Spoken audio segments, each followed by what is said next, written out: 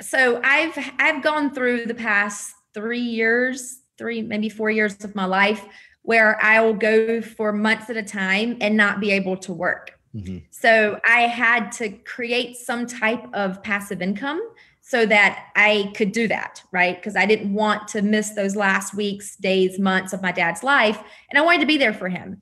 And so um, that's really where, you know, I started teaching my own agents about how to, you know, how to do it. And then I was like, other agents need this. You know your business can change people's lives, but you don't yet have the right words to inspire them to take action. Imagine the changes you will create in your business as you tap into the secrets of ethical influence and positive persuasion to not only better serve your clients, but also to supercharge your financial freedom. I'm your host, Jason Linett, and welcome to the Hypnotic Language Hacks Podcast. I help entrepreneurs and business owners just like you to close more premium sales. And no, this isn't about tricking or manipulating people, not at all. It's about helping your prospects to appropriately sell themselves into your products or services. Please hit subscribe and get all the episodes now at jasonlinett.com. Running a massively profitable business, selling people a product or a service turns out to actually be a massively noble thing as long as you are solving someone's problem. If you are operating from the premise of get rich quick and how can I capitalize on people's problems, we need to have some words. when meanwhile, instead, if you are identifying that a specific client or even an entire market has a very unique problem, and if you have a way of resolving that problem, creating a better solution, you will have a business that easily scales year after year, creates incredible goodwill in the world and in your communities, and will easily continue to grow long after that as well.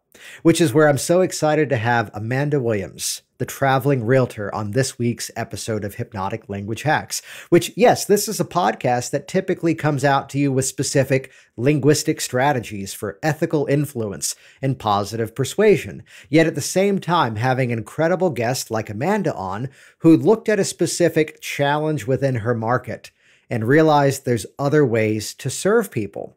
In fact, there's not just other ways, as she's going to share inside of this conversation, there's at least six ways for real estate agents to be profitable in whatever market is out there. And you're going to hear the story as to where the branding of the traveling realtor came from, because think about the real estate market, even if that's not your industry.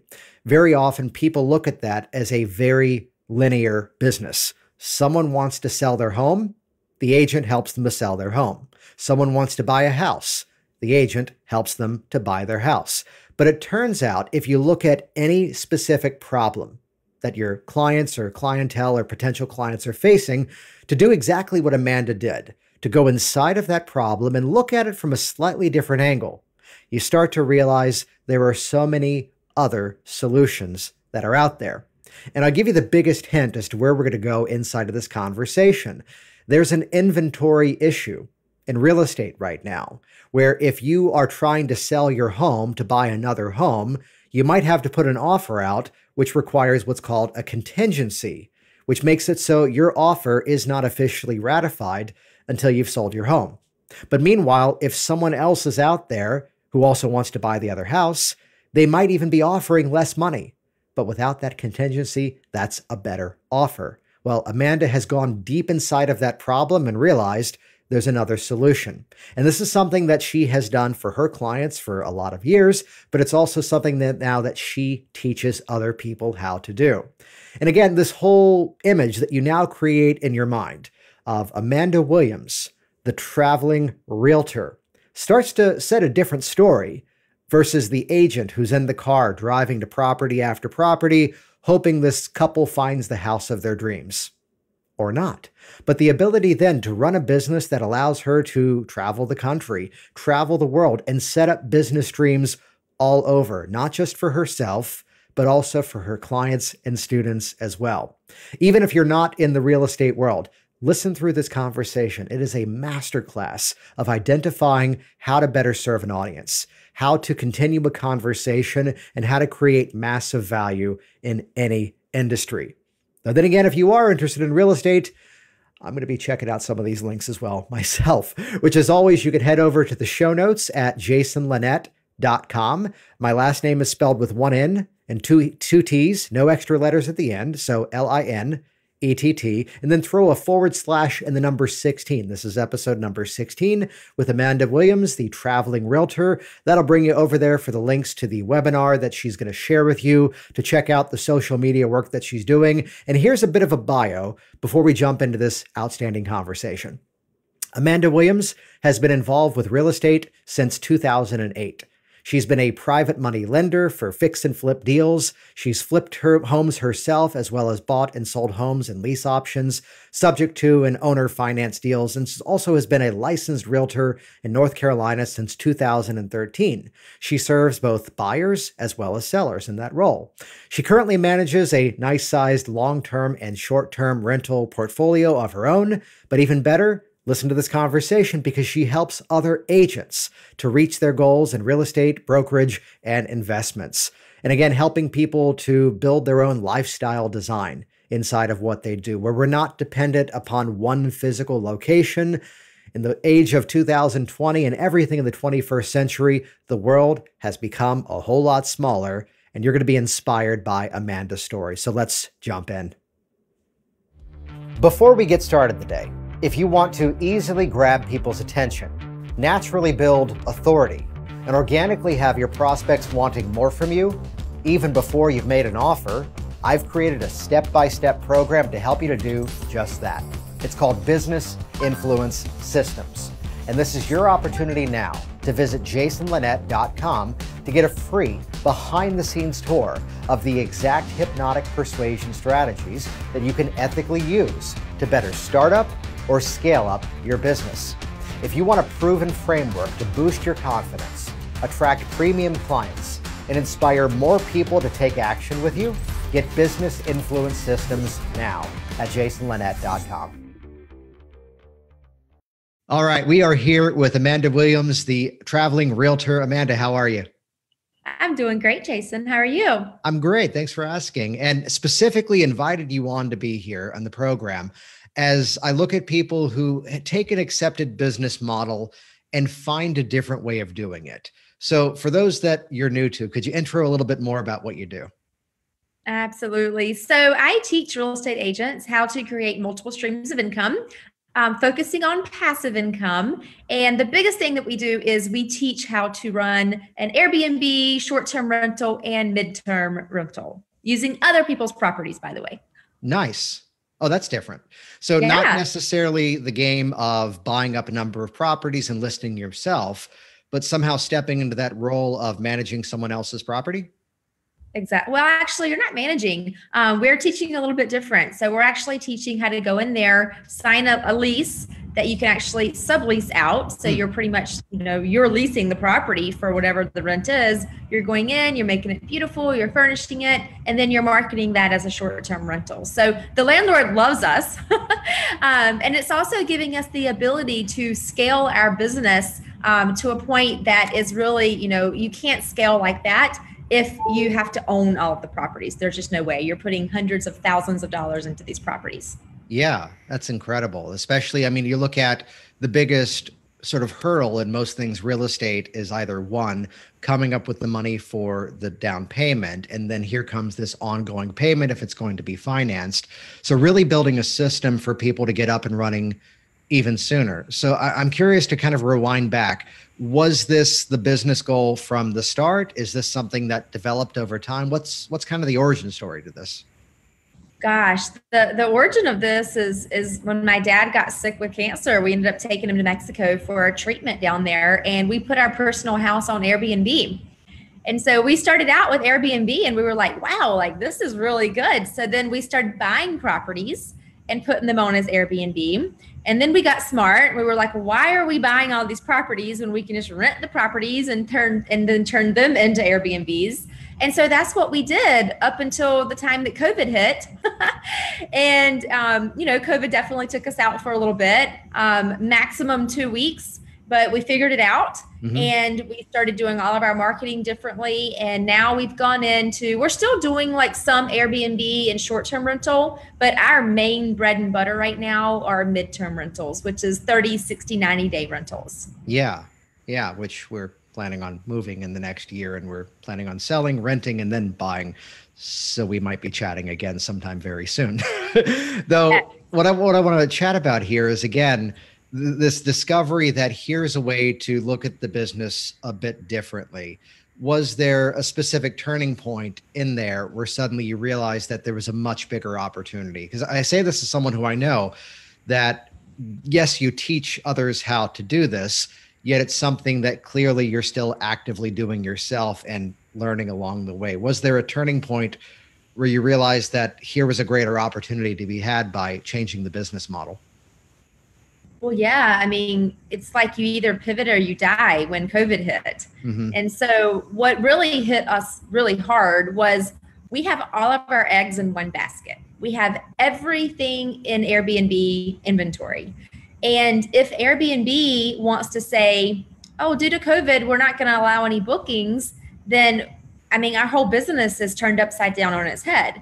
And so that really hit us. Like, we had never thought, like, who would think that something could happen in the entire world that could just stop everything like COVID has done. Mm-hmm. And so that's when we really started thinking, you know what, we've already got our website, we've already got our business name, we're doing some branding, but we're we're not really doing a ton of branding for ourselves.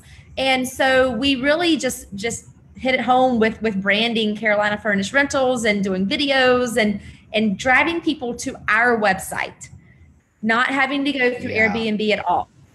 And so we've started doing that and that's been huge. And Jason, I know you teach, you know, business owners how to to say the right things, right? To attract those clients in. And that's what we're doing. And we're attracting people who are looking to move into our area. So we're going after relocation people. So people who, you know, jobs and family and especially now with family because they want to be close to their family so that's that's really what pivoted us and uh, thank god thank god it did yeah because like who what smart business person has has all of their eggs in one basket to a company like airbnb that can literally shut you down in one day well there's a trade-off to that because when you find something that clearly is working that's when we ought to double triple or even more down you know to throw all that effort into that though this is reminding me of a good friend of mine that part of his business used to be doctors had continuing educational requirements. And like any of us, they would procrastinate to the very last moment and suddenly go, oh, wait, I need this by next week. And he had built an entire empire of offering educational resources that they could watch, they could take an exam, and they would get those units. And this was over time a multi million dollar business. But then what happened?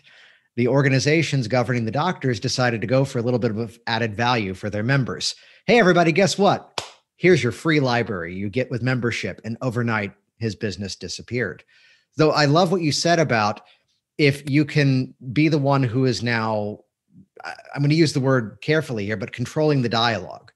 If they're on Airbnb, they're on someone else's site, they're on someone else's platform and if suddenly even a city changes a rule, that could disappear. So mm-hmm. by creating your own mechanism. So how is it specifically that that dialogue has changed now that they're coming to your site to your information instead? So it's different because we're going after um, a different clientele. So Airbnb focuses mostly on the vacation rental. So mm-hmm. you know weekend stays, maybe a week stay, which are they're great. Um, however, that's really not my preferred clientele. My preferred clientele is that family who's going to be relocating to the area, and I can partner up, you know, them with one of my amazing real estate agents in that area, and then they will go sell a house. Right? They'll they'll the I'm going to tell you this, and you could probably help me with my verbiage on this. But when you approach someone who is moving into the area with the conversation of, I have this amazing, you know, short-term rental. It's completely furnished. You just bring your suitcase in. You can stay there for a week while we're looking for houses, or you can stay there for three months while we're looking for houses. This is going to take the pressure off of that client because with our market right now, they're coming in and they're feeling like they have to put an offer on a house like that day or that weekend because if they don't, the house is going to be gone. Mm-hmm. And there's not a lot of inventory. And yeah, so we, we were chatting about that, that before we jumped in. That again, the game of how you know, especially now, people are wanting to move faster because otherwise, you know, the risk of a hotel, the dangers of whatever else may be out there. Uh, so giving that option of you know whether it's a week, whether it's several months, here's an alternative. Yeah, yeah, exactly. And they can take it week by week or whatever they want to do. It's just so flexible and it takes the stress off of them. It's that that huge stress of feeling pressured, especially you know pairing them up with one of my real estate agents as well, and and we're all you know in this together, and we're just helping them feel more comfortable. And that's the thing. We saw a problem, and we're solving the problem, right? Yeah which let's let's go inside of that as a strategy. You started with what was the problem that they were facing and the solution was this is the way that everyone does it. This is the formula that everybody's aware of is that maybe in real estate you're putting in a contract on a new home but there's also this contingency thing that makes it so it's dependent upon us selling the previous home. When now here's an alternative they can already be sold. This is becoming personal coaching now for me, by the way. So thank you, Amanda. we can have that experience where now it's already sold. So the offer is just the offer. So by identifying what the need of the market was, matching what what their perceived solution may be, but then also pivoting as you are to go, here's another way we can do that, which may be even better. Absolutely. Is there yeah, a story that is there, yeah, is there a story that comes to mind of working with somebody where this maybe wasn't their expectation and suddenly this became the solution for everything? Well, yeah. I mean, it's funny because a lot of realtors really didn't even think about, you know, telling their clients about short term rentals um, it happens a lot. It happens a lot when people are selling their homes and building new homes because the builders are running late and all kinds yeah. of stuff, and so they're essentially like homeless for weeks at a time. Same thing when um, you know when they're selling their house. Exactly what you're talking about. They sell their house and then all of a sudden their new house gets pushed a week or two or even you know three sometimes out so it there's just so many scenarios that this is so so important and for the realtor to know about a business like ours, it adds value to their client and it makes the realtor look like a rock star. Mm-hmm. And so often, hypnotic language hacks, so often it comes down to the specific phrasing that now introduces a new idea, a new premise into someone's mind. And as soon as it's there, it becomes that aha kind of phrasing. So, what's kind of that if it is an elevator pitch, if it is that short messaging, how is it that this is typically presented? For the real estate agents or sure. for the client? Let, us say for the client. For the client, well, I mean, it's exactly that. You know that you you as the real estate agent will know, you know, if your client needs a place, a short term place to stay, um, and then we're actually doing a lot of external marketing right now as well to attract those people to us. Mm-hmm. And what I'm finding, I'm actually attracting a lot of different types of people. I'm not just attracting guests, I'm attracting um, investors who mm-hmm. want to purchase properties and then rent them to us so that we can add them to our short term rental portfolio. Oh, nice. So I'm finding a lot of those right now.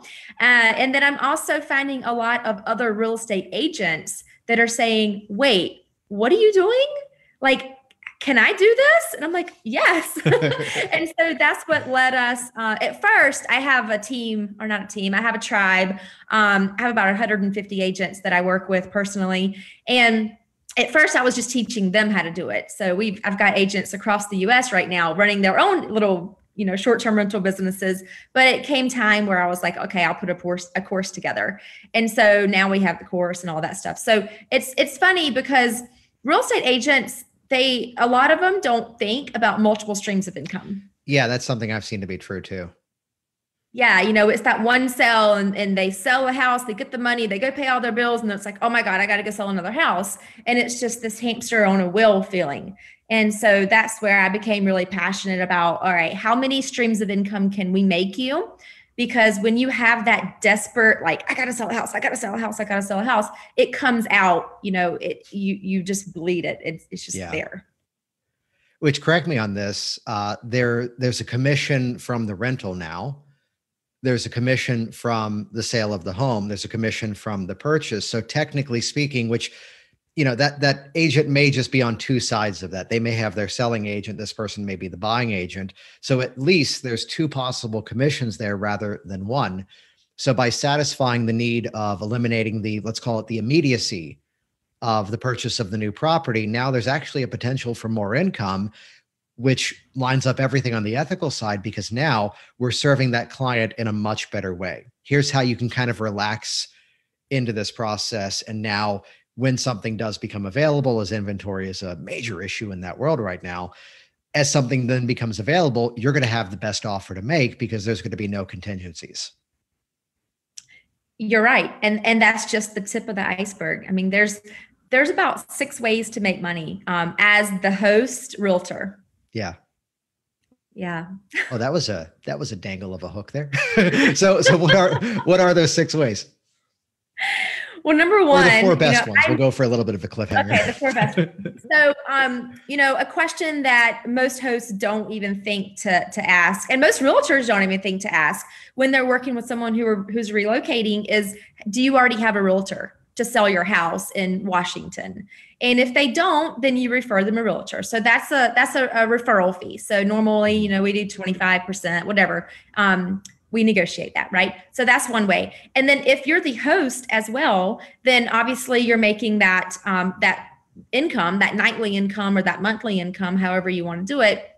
And then on top of that, yes, you're selling them a house, or you could be like me and refer all of those leads out to your team, which is exactly what I do.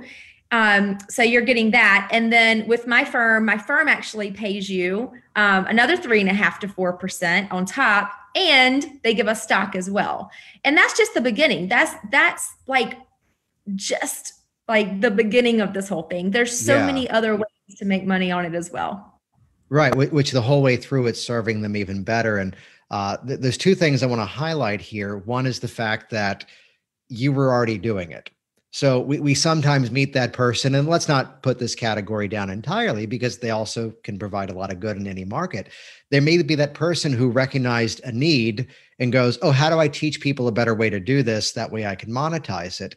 Yet clearly along the way, anyone who tracks what you post on social media sees that, you know, oh, we just furnished this property. So we're seeing in real time what's working right now, which is giving it that that greater credibility so, you know, as these issues pop up, where suddenly now there's travel restrictions, travel regulations, there's a way that's around it.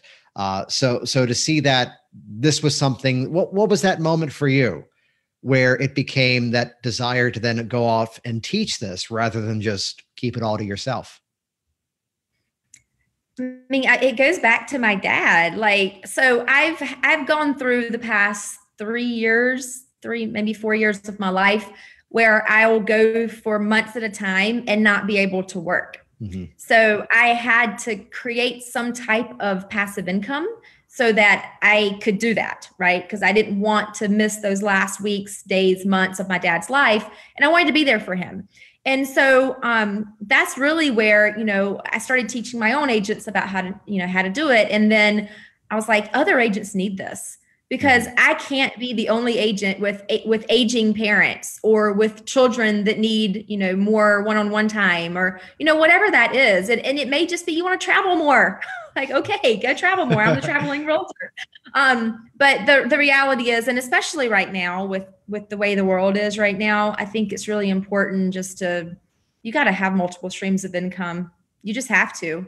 I think everyone I, I, does I'll lead with this uh, question in a very appropriate way uh, with my example first. That, you know, as I took the model of the education that I was doing in my industries, where uh, I would put on a class, I would even do like a two hour meetup event, and I would be getting these requests from around the world, which would be that, hey, are you going to live stream this? Hey, could you film that? I'll pay for a replay of it. And that's what started my educational business, where at the origin of everything is this one person to another service of helping them, let's say, resolve a fear, overcome a confidence issue, change a series of habits.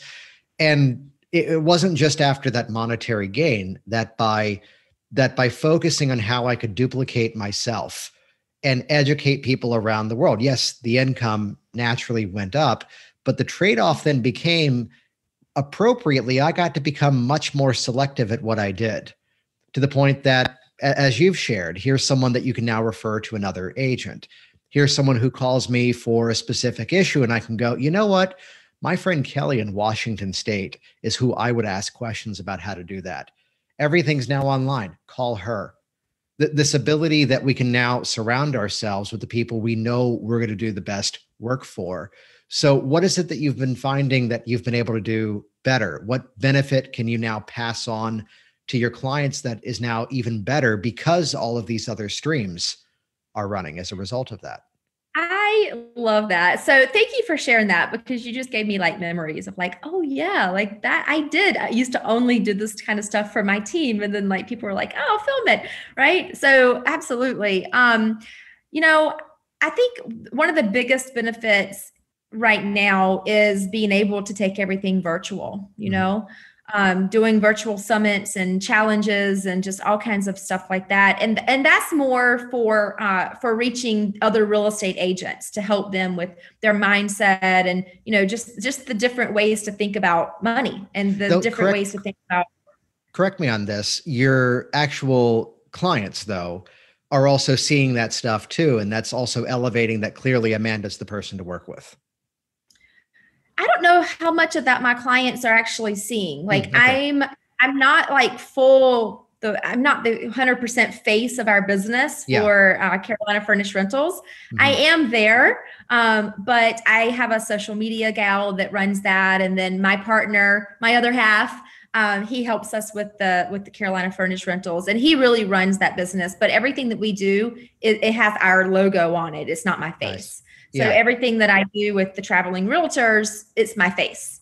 So it's a, it's I guess um, I keep it a little separate, but then of course if you go to my personal profile, then you're going to see that hey, you know my business page is made of the traveling realtor, and oh by the way, I am the CEO of Carolina Furnished Rentals, and so I do have a lot of the realtors who go and cyber stalk me. Um, they'll click on the Carolina Furnished Rentals just to kind of see like, well, what does she have going on? Uh, so yeah, but as far as the clients go, I think the clients, it's it goes back to just you know giving them that that good feeling of not being pressured to purchase a house mm-hmm. immediately, I and giving the way, them that also. Yeah. I was gonna say I love the way that you drew that world out because it's where I meet people who are stuck on do I build the personal brand? Do I create the corporate image? And the answer to that, as you've shared, is to identify well, who's the target audience? You know, if they want to learn, they want to see someone like you who is clearly living the life and demonstrating what's working now. Yet for the end user of the home, they're looking for a home. And yes, it may be a side benefit that this is who you are and this is what you do. Yet that's a story that's more about them, which is why now that's the Carolina Realty Company as opposed to you. Yeah, it's a great exactly. way of defining that. So, traveling realtor, where did that come from? What's the story behind that? well, uh, gosh, I was a crazy, chaotic real estate agent, hmm. and you know, buyers, sellers, working, working, working. Uh, we were also flipping houses. We had rental properties, uh, long-term rental properties, and uh, we had went to a, a, mastermind. We do a lot of masterminds like real estate masterminds. And i was sitting on a hammock and i'm thinking how in the world can i mix my real estate passion with my traveling passion and that's where I came up with the brand, Amanda the Traveling Realtor. And when I first started, I was like, you know what? I'm going to do a podcast and I'm going to interview realtors who love to travel. And we're just going to all get together and just love to travel. And then uh, it would turn into like some type of retreat or something. And that was kind of my idea behind it.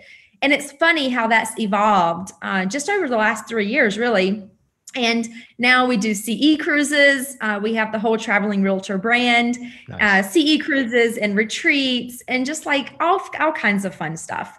So yeah, that's where it came from. But it's really just how to how to mix, you know, what you're passionate about, which for me is travel. So I'm I'm attracting other real estate agents that love to travel, and we're a perfect fit.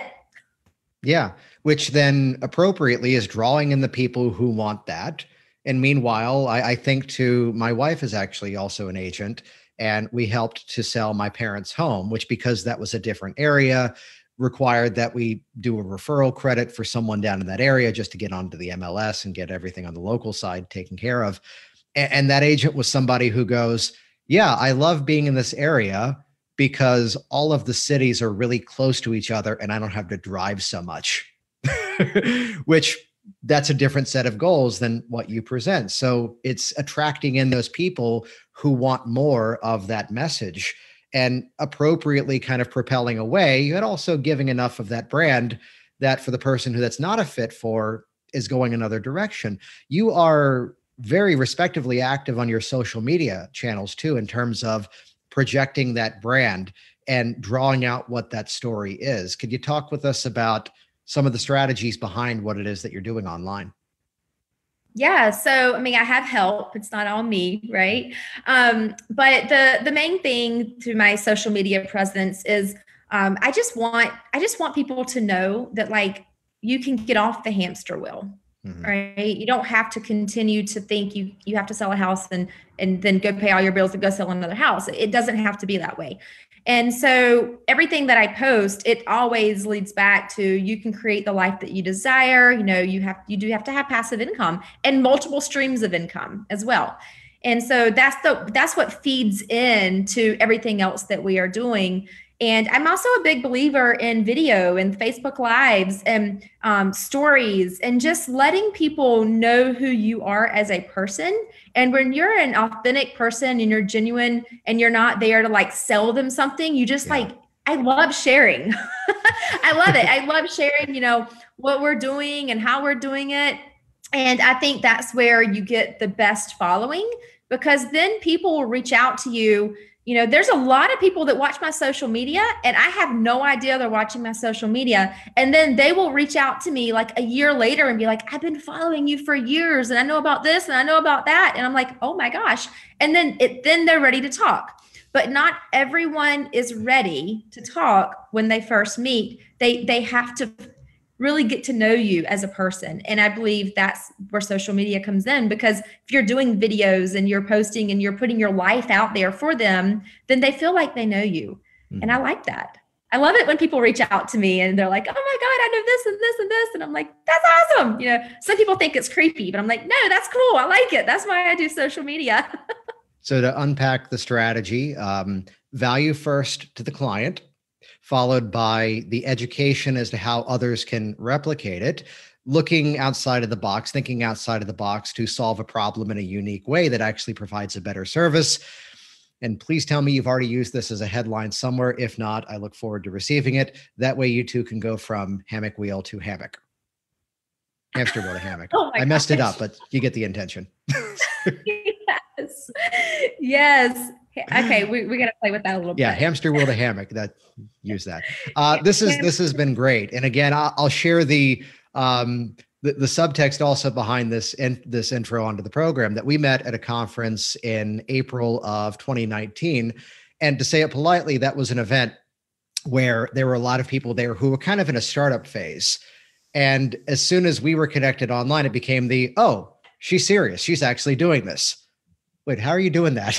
and, and, to see it play out, to see the consistency, the congruency of the message. So excited people have been able to hear this on the program here today. So, Amanda, where can people find you? How can they best get in contact with you? Where can they learn more?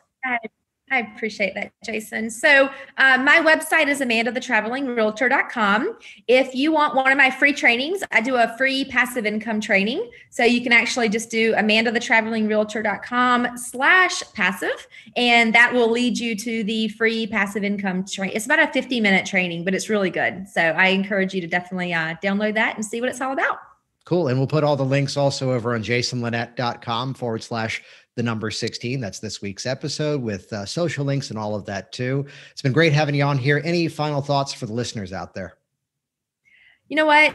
Yes, you can create the life that you want to create. I don't care what industry you're in. You can, as long as you think you, you think you can, you can, right? I'm a big believer in that. What you think about, you bring about and um, it's really just taking that that next step putting one step in front of the other and don't feel like you have to be the absolute best you just have to be one step ahead of someone who wants to do the things that you have done that's it and you can you can teach them and you can help those people. So that's my final words for today.